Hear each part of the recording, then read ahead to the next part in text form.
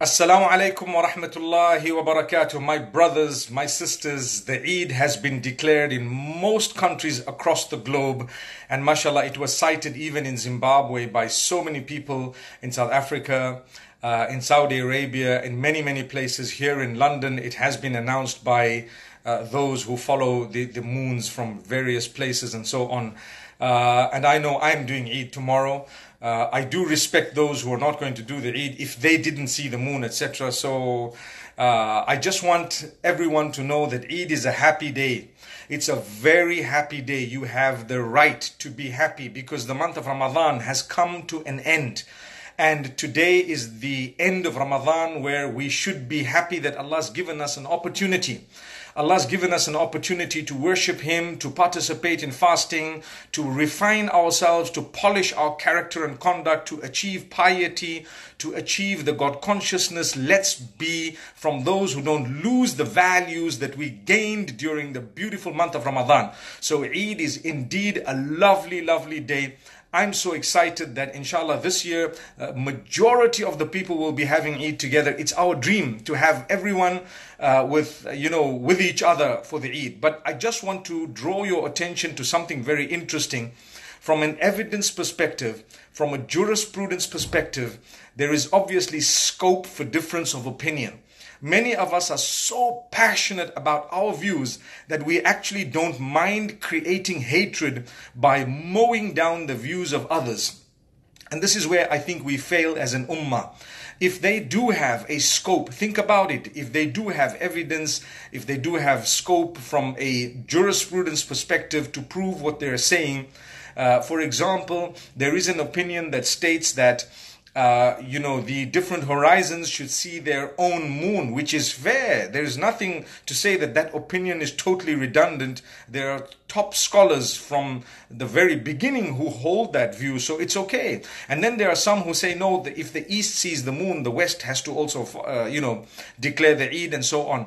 That is also a, a valid opinion. So we need to know this. It's a day of happiness and joy. If a member of your family is not celebrating Eid tomorrow because they did not see the moon or they're following an opinion uh, regarding, uh, you know, some valid opinion regarding the, the, the Eid and the moon, etc.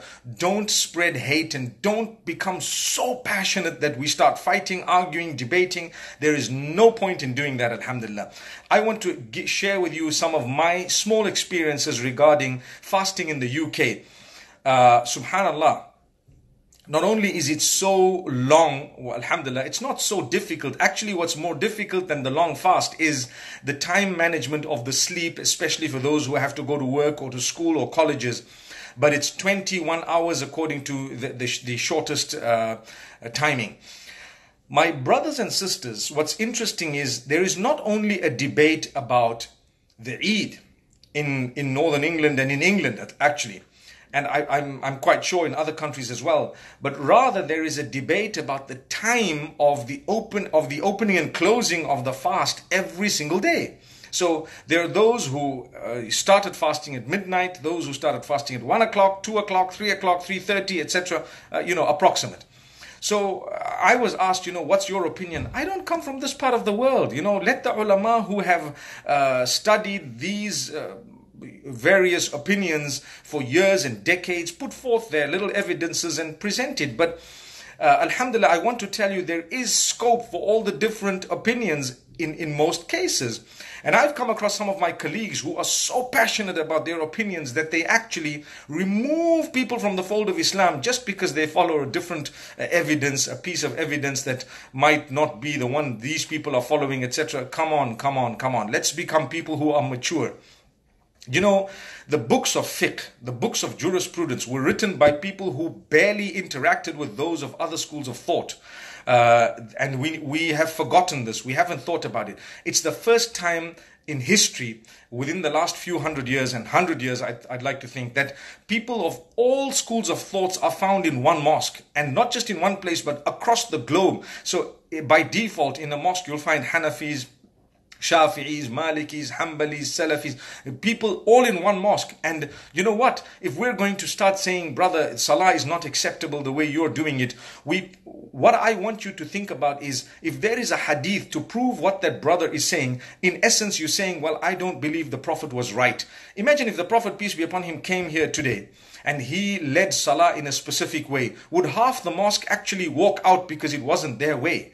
That is ridiculous. If there is a hadith to prove that point, look, you need to understand that's okay. It's a valid opinion. It's jurisprudence. Come on. You need to grow up. You need to mature. You need to understand those books of fiqh that you are following. At times, they have not taken into consideration the fact that there will be people of all schools of thoughts reading salah in one masjid. Sometimes there are four imams uh, alternating Taraweeh. Each one of them belongs to a different school of thought, but they have evidence. They have, they have, you know, people have gone back and already invented the wheel. Let's not go back and reinvent it by creating discord once again. So remember, if you're going to say my salah is not done when I do it this way, you know, one of the things that irritate me is regarding Salatul Witr when witr is read in a specific way and people actually walk out and there is a hadith to prove that subhanallah if the prophet ﷺ came and led it that way would we walk out? And it is a hadith. It might not be my school of thought, but trust me, if the Imam is reading it that way, you say Bismillah and you read it because it is a hadith of the Prophet.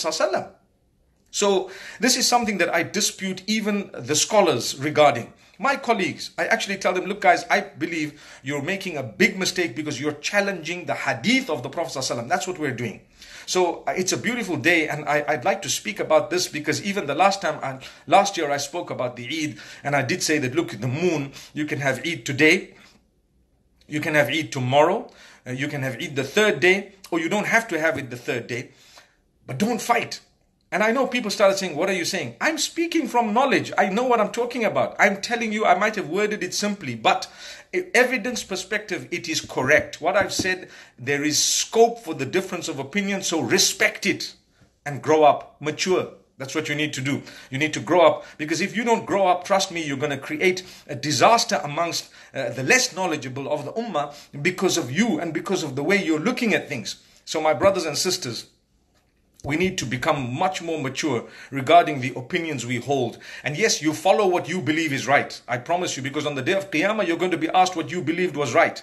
But remember something, someone else might be convinced with something totally different. They will be asked about what they were convinced with.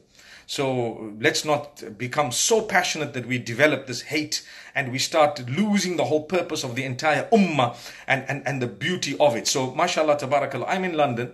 I've just heard the declaration of Eid, mashallah, uh, the moon sighting. I think there are still a few groups that will be seeing the moon here in London. I'm quite sure it will be quite visible here by the will of Allah, if Allah wills. Uh, but I'm quite sure from a human perspective, it would be perhaps possible to to, to, to view it here. I'm not from this part of the world, so I actually uh, don't know all of the politics that happens here, but I do know that there is a lot of hatred when it comes to Eid. Come on, guys. When it comes to the start of the fast, we've got a problem. When it comes to the end of the fast, we've got a problem. When it comes to Taraweeh, we've got a problem. When it comes to Eid, we've got a problem. When it comes to everything, we've got a problem. I think we need to mature. I think we need to realize and understand unity is not about uniformity. Unity is not when we all do the same thing. We all eat pizzas, so we're united. Come on, grow up. That's not what it's all about. We've all eaten food. That's what it is. Some might have pizzas, some might have burgers, some might not even want fast foods. We would love to have slow foods, mashallah. May Allah subhanahu wa ta'ala bless you all. I love you all for the sake of Allah. Trust me, even if you differ with me, so what? Subhanallah. I will continue with my opinion. I respect the other opinions that have evidence to prove themselves and, and they, they do have a scope within Islam. I will respect it and I will disagree with it at the same time and I will not decrease the love that I have for you because you know what? We're all following the Prophet ﷺ and what he has said. Sometimes what I believe is absolutely correct or more correct, you might believe that that is not more correct. You might believe another piece of evidence is more correct and more valid. We may discuss it, we may come up with an, a common view, perhaps some of us, and we may not. We may not come up with something common. You might still be convinced after the discussion that what you have said is actually much more valid than what I have said. So that's amazing and beautiful. Brother, sister, I still love you. Trust me, if you don't do Eid tomorrow and you really have not seen the moon and you're following a proper opinion, no love lost. I respect you I might, I might not do it the way you've done it, but subhanallah, the fact that there is scope for it, alhamdulillah. I have some of my colleagues who are mature as well. Mature, when I say mature, uh, they are mature from a difference of opinion perspective. They know how to manage difference of opinion, not someone who spits venom from the mouth the minute someone disagrees with him. No. I've spent a lot of time studying evidences of those whom I disagree with, and that's made me a very tolerant person because I've realized if this is a hadith of the Prophet ﷺ, even though it might not be as uh, you know as strong as I would have liked it to be, or it might not be my opinion, it might not be something I consider the most correct, etc. It might not be uh, within a specific school of thought, and so on. I still am very, very scared to uh, create such uh, uh, damage and harm against something that is evidenced in the life of the Prophet, peace be upon him. Like I say, uh, I remember one of my colleagues saying, You're not allowed to read witr this way. And I said, Hang on, there's a hadith. Imagine if the Prophet ﷺ came here and he actually read the witr that way, because there is a hadith, there is evidence to prove this. So you might not have seen it. It doesn't mean that it doesn't exist. You know, you might believe this or that. It doesn't mean it doesn't exist. It does exist. Stop confusing the masses. You need to understand you're here, they're doing it this way, do it this way. At least you've practiced upon that hadith a few times or one time or whatever many times in your life, and you do know that, look, Ya Allah, this was a hadith of the Prophet ﷺ, and I was in the masjid where they did it this way, so I did it that way, rather than uh, st- stepping back and going back, uh, following those who've never interacted with people people of other schools of thought. Remember this.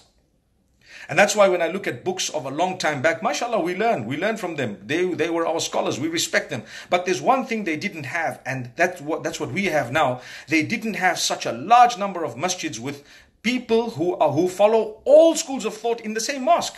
I mean, you go anywhere in the world, it's so cosmopolitanized that you'll find people of all walks of life, all schools of thought, all races, many nationalities, all in one masjid. And here you have people pushing their one opinion and saying the rest of them are not, their, their salah is not done, it's not accepted. Hey, calm down. Salah belongs to Allah, not to you or me. You do what you believe is the best and the most correct, and let others do the same in their way. And this is how we will be able to achieve the best of unity. And this is how we'll be able to achieve unity through diversity.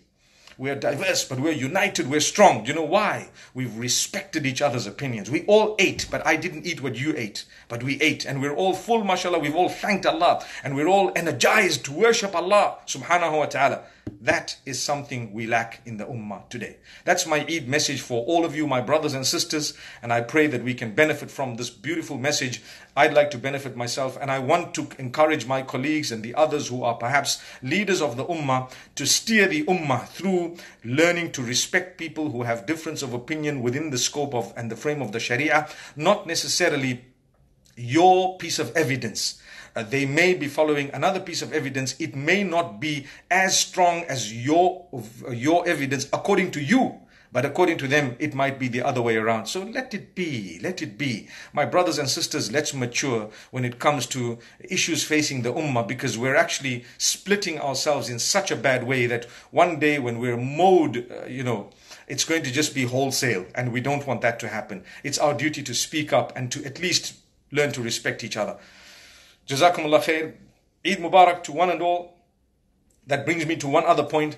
Saying Eid Mubarak. You can say Eid Mubarak. You can say Kullu Amin wa Antum bi khair. You can say for example, uh, تقبل الله منا ومنكم, but don't forget the Islamic greeting still remains Assalamu alaikum. Don't miss that out on the day of Eid or the, or the Friday. So before you say your Jum'ah Mubarak, at least say Assalamu alaikum because that is the greeting of Allah, the greeting of Jannah, the greeting of the Quran, and the greeting of Islam. So Assalamu alaikum wa rahmatullah is what you start with, and after that you can say your highs and your hellos and your good mornings and good afternoons and whatever have you, including your Eid Mubaraks and Jum'ah Mubaraks and Shadi Mubaraks and etc. etc. etc.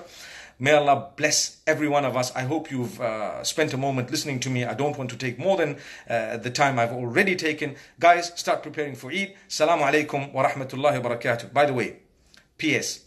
See you at the Valentine's Park in Ilford, inshallah. If Allah gives us the life to be there, the opportunity, and inshallah the health, uh, we will see you there in London tomorrow by the will of Allah subhanahu wa ta'ala. Assalamu alaikum wa rahmatullah.